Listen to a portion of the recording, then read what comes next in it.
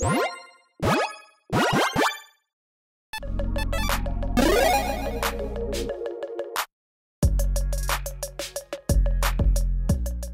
everyone, Mitch coming in for the Commander's Quarters studio. Welcome to the show. So, on today's episode, I've got a different kind of episode for you. Today, I'm going to be breaking down the tier list rankings for aristocrat style commanders. Now, a couple of notes. Uh, these are 100% based off my own opinions, and your opinions might differ, and that is okay.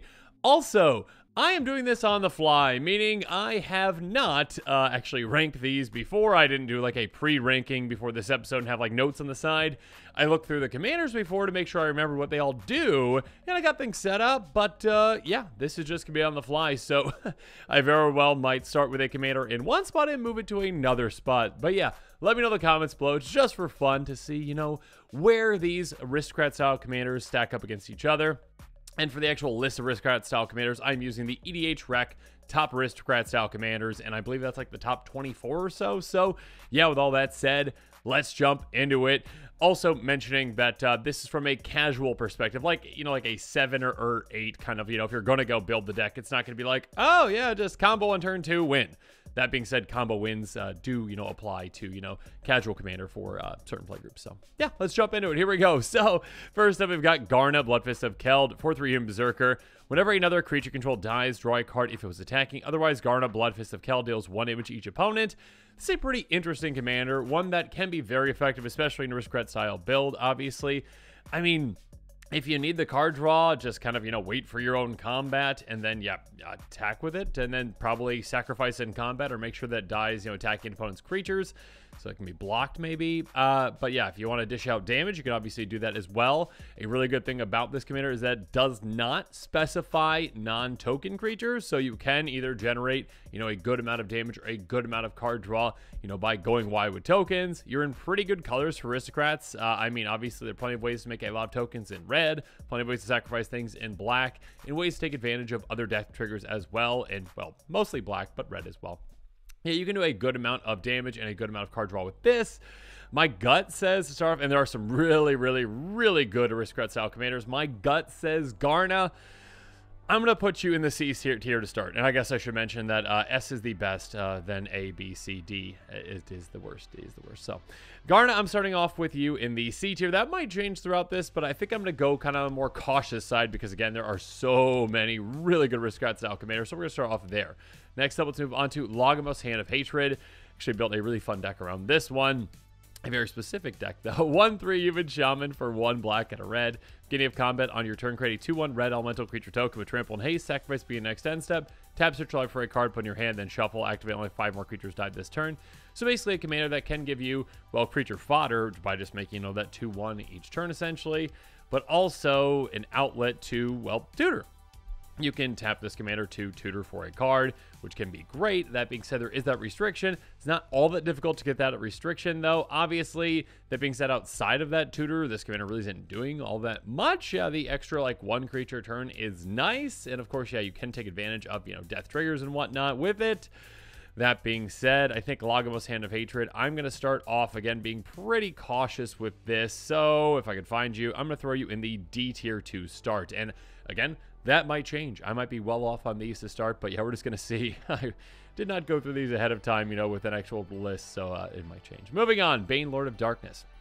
5-2, God. That costs one white, blue, black. Bane, Lord of Darkness. Had to do it. As long as your life total is less than or equal to half your starting life total, Bane, Lord of Darkness has indestructible. Whenever another non-token creature you control dies, target opponent may have you draw a card. If they don't, you may put a creature with equal or lesser toughness in your hand on the battlefield. So this commander is, well, um, I mean, pretty hard to deal with if you can get your life total below half. I mean, that is a little more dangerous. Obviously, there are ways to set your life total so you can actually get there, you know, with like those pay one life type effects that you can repeat, like a blood wall. That being said, obviously this commander doesn't really have any other protection other than that, which is fine. Uh, and this commander is basically probably always just going to be getting you a card drawn instead of the other, uh, unless you can make deals with an opponent. Because typically players aren't going to be like, yeah, just cheat a creature into play, especially since this commander can combo quite easily. And eh, essentially, if they keep seeing you kind of doing that, they're like, yeah, let's stop that combo, essentially. Now, you can kind of partner with a commander or a partner with another player to essentially be like, yeah, okay, I'll combo and take this other player out. I'll leave you alone. That player's just a huge threat. They're in the lead. Let me do it. So, yeah, there are definitely ways you can do that. I'd say overall, yeah, I mean, good at giving you card advantage. Uh, you know, sometimes you can, you know, make deals to get that other part, though. Overall, I'm probably, again, maybe I'm being too cautious, but Bane, uh, I'm going to be putting you in the C tier to start. And again, maybe I'm just being way too cautious for these first couple, but I know there are some really heavy hitters coming up. Moving on, Raphael, Fiendish Savior, 4-4 Devil Noble Flying. Other demons, devils, imps, and tieflings you control get plus one have lifelink. Beginning of each end step, if a creature card is put into your graveyard from anywhere this turn, create a 1-1 red devil creature token with. When this creature dies, it deals one damage to any target. This is each end step, which is nice. It only considers creature cards, though, which again is kind of like an annoying way of saying it. I believe that just means basically non-token, because technically they're like, hey, oh, that non-token creature didn't technically, it did hit your graveyard, but like, it's a really weird rule. Um, but yeah, basically, hey, there you go. You can pump your devils, uh, imps, tieflings, and demons, give them lifelink. You can make a good amount of creature tokens throughout the game. Again, replacing essentially your creatures when you sacrifice them works really well like reassembling skeleton type creatures that you can sacrifice for value. That being said, there are just other commanders out there that definitely provide a bit more. I'm going to start you off. Oh, goodness, I'm probably going to get a lot for this. We're going to go back to the C tier again. Maybe I'm just going to put everything in the D and C tier. Nothing. Nothing is A, B, or S tier. just kidding. All right, let's move on. Moving on, Henzie Toolbox Torre.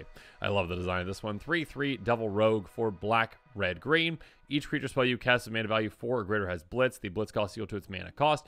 And again, Blitzing means you can choose to cast it for its Blitz cost if you do. It gains haste, and when it dies, you uh, draw a card. Also, at the sacrifice being the end step, that's fine. Blitz cost you pay costs one less for each time you've cast your commander for the commands on this game. So with this kind of a commander, you really kind of want to get it out and like sacrifice it, recast it, get it out, sacrifice it, recast it to get that reduction down to a lot. I mean, this can do some pretty crazy things. There's some combos that you can do with it. This can give you just a ton of card advantage throughout the game as well by blitzing out a creature, getting its basically, you know, death trigger addition, you know, that it's given with that blitz, blitz essentially to draw cards. Of course, other deck triggers you can take advantage of, like cards like Fecundity, Moldervine Reclamation to draw even more. Yeah, and, and again, yeah, there's some definitely combos you can do with this commander. I think overall a good value commander. I'm going to throw Henzie Toolbox Torre, uh, if I could find Henzie Toolbox Torre, there you are, into the B tier. So let's go with the middle of the road. Moving on, we've got Elas il-Kor Sadistic Pilgrim. Basically a blood artist in the command zone in a way. I mean, like Zulaport Cutthroat. Kind of different, but still, here we go. 2-2, Phyrexian Kor Cleric with Death Touch that says whenever another creature enters the battlefield under control, you gain one life. Whenever another creature you control dies, each opponent loses one life. This one is a really, really, really, really cool, uh, I mean, just very simple but effective Aristocrat style commander. One that, again, like a you know Zulaport Cutthroat, can essentially just drain your opponents in absolutely no time. Whenever you're sacrificing creatures, again, in a Aristocrat style deck, you're going to be draining your opponents quite a bit. Also, when your creature come into play, you gain life, which is nice to pad your life total. But of course, there are other ways to take advantage of, well, hey, whenever you gain life, like drain an opponent or drain all opponents, essentially. There are plenty of those kinds of effects out there too. So just kind of this in combination with a good amount of creature fodder, in combination with other, you know, death triggers, essentially, in combination with other Zulaport type, you know, cards, you can drain your opponents in absolutely no time. Again, I think this one is a little more middle of the road as well. I mean, uh, it might be like a C tier, but it might be a B tier. For right now, let's just put it in the B tier. It's kind of middle of the road to me. I think it's probably above the others in the C tier. But again, I could be very wrong on all this. Is just my opinion. Moving on, though. Let's go Shirei Shizo's Caretaker. I love this one. 2-2 Spirit uh, for 4 and a black. Whenever a creature with power 1 or less when you're graved from the battlefield, you may return that card to the battlefield at the beginning of the next end step if Shirei Shizo's Caretaker saw the battlefield. Basically, hey, tiny creatures die and come back under your control every single turn. Now, obviously, there is that catch where, hey, uh, Shirei caretaker has to be on the battlefield still. If it's not, you might just lose out on all that value that you, you know, sacrificed for a ton of value, and then they're going to be coming back. But uh, instead, if an opponent deals with it, you lose out on that. Obviously, you're also limited to really taking advantage of creatures that have small power, which is fine. There's a lot of ones that you can really take advantage of. This one can have a lot of potential. That being said, it is quite risky. So I think overall, I'm going to be putting Shirei Shizo's Caretaker into the C tier. Maybe it should be a D tier commander actually compared to the other ones. But for right now, let's keep it in the C tier. Next up, let's go on to Ratadrabik of Urborg. Yeah, we're stepping things up just a little bit. 3 3 Zombie Wizard with Vigilance and Ward 2 because it needed. I feel like Wizard just started slapping Ward 2 on things. They're like, yeah, we solved Hexproof. Now let's put Ward on everything. It's like, it doesn't really need Ward. It's already good enough. 4 2 white black. Other zombies you control vigilance. Whenever another legendary creature you control dies, create tokens copy of that creature, except it's not legendary. It's a 2 2 black zombie just other colors and types. Basically, a commander that can really take advantage of, well, legendary creatures with powerful effects, powerful triggers, powerful ETBs, powerful LTBs. Yeah, this can get pretty pretty crazy, especially in combination with, you know, populate effects as well, because again, your legendary tokens are not legendary. So there you go. Just again, get like Song of the Worldsoul out. Yeah, copy legendary creatures again and again and again this can be quite crazy. Obviously, you are limited to just two colors. You know, for legendary creatures, there's still plenty of great ones you can take advantage of, obviously. And uh, yeah, this one, oh, gosh, I mean, I'm going between A and S right now. I got to be honest in my mind. I think I've got to put this in the, oh gosh, Ratadrabik. I think I'm going to put you in the S tier, actually. We're just going to jump you all the way up to the S tier. There's too much kind of power potential that you can really take advantage of. There's some combos you can take advantage of as well. Yeah, and again, low to the ground protects itself. That's pretty gross. Speaking of gross, hey, Marchesa the Black Rose. This one is just kind of mean. I mean, it definitely can be mean. 3 3, Human Wizard Dethrone that costs one blue, red, or black, red. Other creature control of Dethrone. Dethrone again is if you attack the player with the most life or attack for the most life, get a counter that creature. Whenever a creature control they counter on it dies, from the card of the battlefield under control begin an extend step say a lot of ways you can build this commander. The most common, I'd say, and the most brutal is probably just, hey, threaten effects, stealing your opponent's creatures, gaining control of them, getting counters on them, sacrificing them, stealing them permanently, essentially. I mean, you got to get more counters on them to keep them, but still, it's not very difficult to do. This is, yeah, a pretty gross commander, and one that, again, really can just benefit from your opponents having a good army. Now, obviously, you are kind of, you know, dependent upon your opponents in some ways. There's also other ways you can take advantage of, you know, certain triggers and whatnot. But overall, I think Marchesa Black Rose is a very good aristocrat style commander. And I'm going to throw you up in the A tier. So, yeah, congratulations, Marchesa, for making it to the A tier. Moving on, let's go on to Teysa Karlov. Okay, gross. Yet another commander that Wizard just slapped on extra things, it seems like. 2 4 Human Advisor for 2 white black. If a creature dies causes a triggered ability of a permanent control to trigger, that ability triggers additional time. Basically, Death Harmonicon, doubling up every single one of your death triggers. Gross. I mean, actually, even your opponent's death triggers as well if you, you know, you control that trigger. Anyways, you know what I mean. Creatures, you, creature tokens, you control vigilance and lifelink. Teysa Karlov did not need that text. There was no reason to throw that text on Teysa Karlov at all. And Wizards just like, yeah, here you go. So obviously, you know, when you're making your creature fodder, when you're making a ton of tokens, they're also even more impactful in combat as well.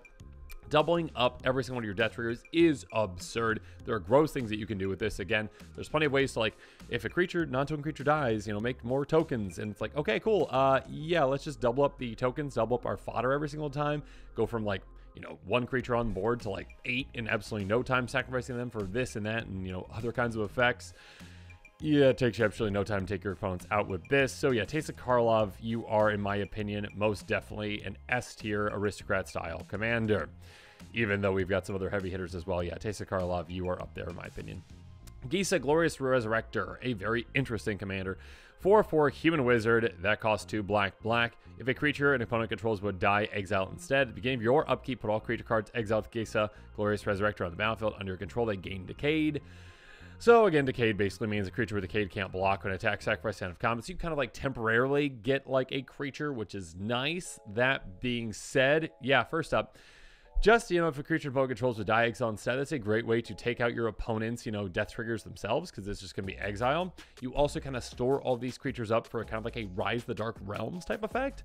That being said, again, kind of like Shirei, you are dependent on keeping Gisa in play, because hey, at the beginning of your upkeep, you get all those cards exile with it. If Gisa isn't there, you're not getting that benefit. So yeah, there is kind of that risk to this as well. It can be a big impactful commander when it works out. If you aren't able to protect it though, it does not. I think overall, oh goodness gracious, I'm gonna have to put you in the B tier. Oh, or the C tier. Maybe maybe I was meant to put in the C tier, that's why I dropped it there on accident. but yeah, I'll throw you in the B tier for now. Moving on, we've got Ayara, first of Locthwain, a 2-3 elf noble for black, black, black. Whenever Ayara or another black creature is battlefield under control, each one lose one life and you gain one life. Tap, sacrifice on a black creature, draw a card. So this is kind of on the other end of things, like a corpse knight type effect. Whenever creatures are coming into play, you're draining your opponents, unlike Blood Artist, you know, those kinds of effects, which are the opposite, you know, when your creatures leave, when the creatures die. And you can also get some card advantage out of this one. Tap, sacrifice, sacrifice on a black creature, draw a card.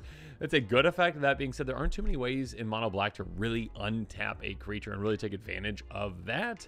It's a nice little additional card advantage, but yeah, you're really going to be working on getting a lot of creatures in play, and there's a lot of ways to make creature fodder. That being said, overall, in comparison to some of the other commanders out there, yeah, you get some drain. Yeah, you can get some card advantage out of this as well. I just think compared to some of the other ones out there, this isn't quite as impactful. So Ayara, First of Locthwain, I'm gonna throw you in the C tier, which is getting quite quite busy over there. So we'll see if we can spread things out a bit, or if maybe you know that's okay if they're they're a little bit more concentrated. Next up, Savra, Queen of the Golgari, a 2-2 elf shaman for two black and a green. Whenever you sacrifice a black creature, you may pay two life. If you do, each other player sacrifice a creature. Brutal. Whenever you sacrifice a green creature, you may gain two life. That side isn't really all that great. I mean it is nice, I guess, to kind of offset the life loss that you're going to have when you're sacrificing creatures and making your opponent sacrifice creatures, that kind of like forced edict effect. So that can be very nice. That being said, overall, yeah, you're probably going to focus more heavily on sacrificing black creatures to keep your opponents off of creatures. So, yeah, you're going to make creature fodder again. You're going to get your re-summoning skeletons out, and then you're just essentially going to sacrifice them, take your opponent's creatures out, and just take them down. This one is good. It is, again, there's just a lot of heavy hitters in Aristocrats, essentially. So I think overall, yeah, Savra, I'm just going to put you in the D tier for now. Those ones above you, I think are just, they just are above you, and you're not quite to that level. You're a good commander, but uh, again, there's just a lot of great commanders in Aristocrats. Moving on. Slimefoot and Squee. This one's an interesting one. 3-3 Fungus Goblin for black, red, green. Whenever Slimefoot and Squee enters the battlefield or attacks, create a 1-1 green sapling creature token. By paying 1 black, red, green, sacrifice a sapling, return Slimefoot and Squee up to one other target creature card from your graveyard to the battlefield. Activate only a sorcery, so kind of like a repeatable reanimation effect. You are in good colors. You can, you know, discard big creatures, get them into your graveyard, basically cheat them into play with this. You are dependent, though, on having a sapling in play. Now, you do get one when Squee enters the battlefield, slap Slimefoot Squee enters the battlefield or attacks. That being said, if some kind of a wrath occurs, you might be in trouble if you aren't kind of prepared for that, or if you don't have other ways to make saplings. So you can just kind of be stuck at a certain point. Like if you put your command in your graveyard, you don't have any ways to make saplings, you're just kind of stuck. So yeah, because of that like restriction, I think Slimefoot and Squee I'm gonna have to put you in the D tier in comparison to these other ones. And I guess I probably should have mentioned just because they're in D tier, you know, in this or you know any other tiers doesn't mean that in comparison to you know like other episodes where I talk about you know they're within sets. That's different. This is just in comparison to each other. The aristocrat commanders in comparison to each other. So yeah, again, they're very good commanders. Just that some in comparison to others are not quite up to snuff. Moving on, Braids Arisen Nightmare. 3 3 Nightmare for 1 black black. At the game of your end step, you may sacrifice an artifact, creature, enchantment, land, or planeswalker. If you do, your opponent may sacrifice a permanent that shares a card type with it. For each opponent who doesn't, that player loses to life and you draw a card. This is good. This is limited to just your end step. This is limited to, you know, braids needs to be in play on your end step or you're not getting this. If, again, opponent just deals with it right before that, you're going to be in trouble. I mean, you're not going to be able to take advantage of this. You can, you know, force your opponents down, you know, to lose a lot of permanence. They also have the choice to just say, you know what, I'll lose the two life. That's not that big of a deal. You drawing a card is a bigger deal than that. You can take advantage of card draw as well. Again, this is a good commander, but in comparison to the other ones, I just have a feeling that this one is going to end up in the D tier. Sorry, braids. Oh, free braids. Free the other braids. Unban braids. Well, not the blue one. The blue one isn't banned, but the, the other one. You know what I mean. Next up, we've got Liesa, Forgotten Archangel. 4-5 Angel Flying and Lifelink for 2 white, white, black. Whenever another non-tone creature you control dies, you return that card to its owner's hand at the beginning of the next end step. A creature opponent controls would die, exile it instead. So again, that last part is essentially, again, a great way to really, really impact decks that kind of like these really take advantage of death triggers. So you can just basically stop that opponent that is going to be getting death triggers or reanimation style deck or one that really cares about creatures in the graveyard and say, you know what, that's just a nice negative impact. The positive impact for you, obviously, is that, hey, you get your creatures back to its owner's hand at the beginning of the next end step. If it was back immediately, that would be much better. It's still pretty good. And again, a 4-5 flyer with lifelink, that is nice. Oh, this is tough because, yeah, you can really take advantage of getting creatures back in your hand and then back into play again. The end step restriction just is quite a bit. If you can play at flash speed, that's quite nice, like a Vedalken Orrery, though you can't really count on that. Liesa, oh gosh, don't hate me. You're going to be in the D tier. Moving on, yeah, there's it's pretty much bottom bottom heavy right now. We'll see if we can get some of the upper levels. Here we go, Chatterfang Squirrel General. This one's pretty gross. 3-3 Squirrel Warrior with Forest Walk that costs 2 and a green. If one of our tokens are created in your control, those tokens plus that many 1-1 Squirrel tokens are created instead. By paying a black, sacrifice X Squirrels, target creature gets plus X minus seconds on of turn. This is a pretty gross commander. This is one that can generate an absurd amount of token power in absolutely no time. Again, this does not specify one or more creature tokens. This specifies just one or more tokens. So, if you're making clue tokens, if you're making treasure tokens, if you're making food tokens, if you're making any other kinds of tokens, and yes, including creature tokens like servos or whatnot, yeah, in addition to that, you are making more squirrels. So you basically can utilize them for creature fodder. This can be a great, you know, way to remove creatures from play as well by sacrificing those squirrels. Yeah, you're in good colors. You are missing out on white, which is a good aristocrat style color as well. There are definitely ways to take advantage of it in green too, though. But yeah, I think overall, Chatterfang, you're a very good commander. You're just underneath, I think, the S tier. So let's move you up to that A tier level. Moving on. We've got Drivnod Carnage Dominus. Okay. Basically, they're like, yeah, let's do Teysa again, essentially.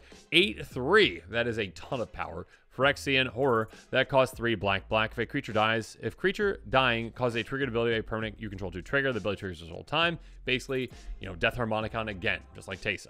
Black, black, or Phyrexian black, Phyrexian black. Exile 3 creature cards from your graveyard, put an indestructible counter on this.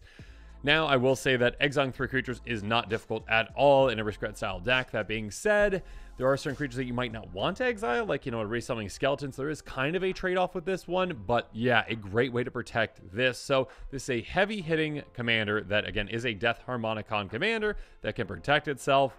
That being said, you lose access to white, and I think because of that, Drivnod, I'm just going to have to knock you down just one tier. You're going to be in the A tier instead of that S tier, but yeah, you are quite good. Moving on, we've got Thalia and the Gitrog Monster, a new, very popular commander. 4-4 Human Frog Horror with First Strike and Death Touch that cost 1 white, black, green. You may play to land each of your turns. Creatures and non-basic land your opponent's control into the battlefield tap. Whenever Thalia and the Gitrog Monster attacks, sacrifice creature land, and draw a card. This is doing a ton. First of all, well, hey, uh, extra, you know, lands is never going to be a bad thing. You can really take advantage of landfall triggers. You can get ahead of your opponents on lands as well and on ramp. Also, hey, first strike death touch, this is very, very difficult, if not impossible to stop in combat. Your opponent's gonna have to basically block with five creatures to ever try to take it out, unless they have, you know, indestructible creatures or creatures they can protect in that way. Also, you know, you can slow your opponents down, the creatures in non-basic lands. And on top of that, whenever it attacks, you can sacrifice creature land and draw a card. So there's a lot of additional card advantage for you. This is a lot going for it, a ton going for it. I just think it's just slightly underneath the other ones I'm looking at in the A tier right now. So I'm going to have to put Thalia and the Gitrog Monster, this might be controversial, in the B tier. I know it's a very loved commander right now, but I think overall does a lot for you. It's just not quite up to that power level of the A tier commanders. So there you go. Moving on, we've got Meren of Clan Nel Toth, uh, a commander that just wrecked things a long time ago. One of the original, you know, commander product commanders or back then that time essentially. Three, four human shaman for two black and a green. Whenever another creature control dies, you can experience counter. beginning of your end step, choose target creature card in your graveyard. If that card's converted mana cost is less than or equal to the number of experience counters you have, turn to the battlefield. Otherwise, put in your hand. Basically, a very easy way to just build up experience counters. It's incredibly easy, and of course, now we have even more proliferate effects as well. On top of that, hey, you get something back big for free. Or, I mean, if you can't get it back, get in your hand too. But yeah, basically, you're probably just going to be getting, getting back, you know, cards again and again and again. It is limited to, you know, once on your end step. I think overall, again, it's a good commander. It is one that has been outclassed over the years now. It is one that definitely was more impactful than it is now. It was definitely more threatening. It's still very good. Very, very good commander. Oh, goodness. I think overall, though, I'm gonna have to put it in the... Oh, gosh. It's either B or C right now. Let's go with the C tier. Sorry, Meren. Didn't quite make it up to the B tier. I, maybe, maybe you are, though. Maybe you are. Uh, I'm going to go back and forth on this. Oh, let's go with, yeah, let's keep you in the C tier. Okay, yell at me in the comments below, please. Here we go. Next up, though, we've got Wilhelt, the Rotcleaver, 3-3 Zombie Warrior for 2 blue black. Whenever another zombie control dies but didn't have Decayed, create 2-2 black zombie creature with Decayed. Your end step, you may sacrifice a zombie if you do draw a card. So basically, again, this does not specify non-token. What it is specifying is the zombie has Decay. You don't get another token copy. Or not token copy, but another token. Essentially, again, there are plenty of ways to make a ton of zombie tokens that don't have decayed, so you can really take advantage of those, sacrificing them for, you know, other value outside of destroying a card with this. This does a lot for you overall. Oh, goodness gracious. Just in comparison to some of the other ones, though, I still don't think it's quite up to even that B tier, though, in comparison to those. Oh, goodness gracious. Yeah, I'm going to get some comments below. Let's go with B, C tier. And I really think I should move up. I'm going to move up Meren. We're going to do it. We're moving Meren up to B tier, okay? Oh, yell at me in the comments below. But yeah, Wilhelt the Rotcleaver. I think that you are, in comparison to the other ones, a C tier commander. You are good. You are limited to being good, though, in Zombie Tribal. And yeah, there's a lot of exciting things that you can do. There's a lot of crazy things you can do. I still think you are a C tier compared to the other ones, though. Moving on, Elenda the Dusk Rose. Yeah, this one's a cool one. 1 1 uh, life linking Vampire Knight for 2 white and a black. Whatever the creature dies, you get a counter on this. When it dies, you get X 1 1 white Vampire creature tokens the life link or X Elenda's power. This can be an incredibly heavy hitting commander. It can gain you a ton of life. And of course, yeah, once you kind of like pop the commander, once it dies, you get an absurd amount of tokens. And of course, hey, uh, there are plenty of now, you know, uh, what do you call them essentially? Like return from death effects, like um, Oh, the names are escaping me right now. My goodness, like the Undying card, essentially. That's one of them as well. But ways to essentially get it back right away. Feign Death, that's the card that always comes to my mind. Feign Death, there we go.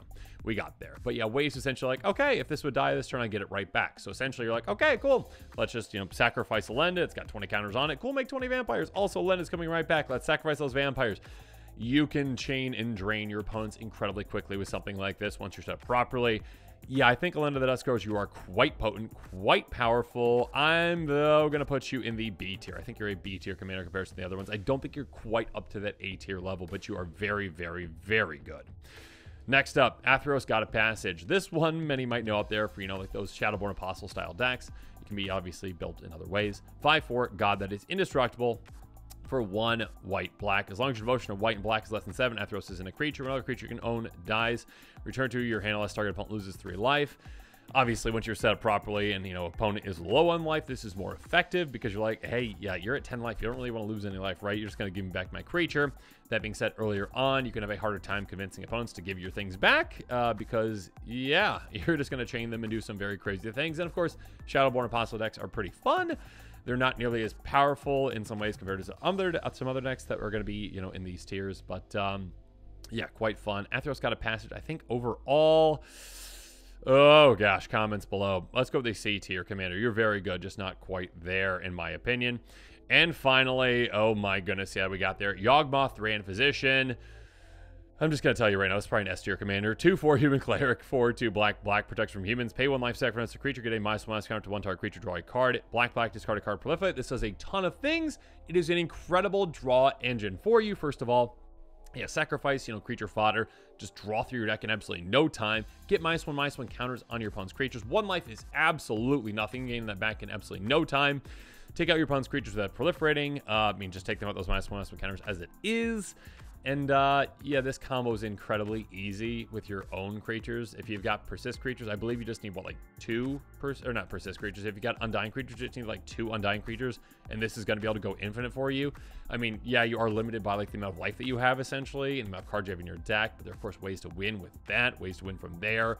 You have Zulaport Cutthroat in play. I think you'd basically just win in that combination. So yeah, Yawgmoth is gross even outside of a combo approach, I think it's still an S tier commander. But yeah, with the combo approach as well, definitely up there. So yeah, I feel pretty good about putting that in the S tier. So yeah, I think that's the uh, overall you know list. Uh, I think I feel pretty good about these so far. Again, I really didn't look at these ahead of time, like you know try to like place them and you know have just notes on the side. So this is just, uh, you know, pretty, you know, off the cuff. So we'll see what the comments below say. But yeah, let me know the comments what your thoughts are. What did I really mess up on? What should have been, you know, a tier higher or a tier lower or a couple tiers higher, a couple tiers lower?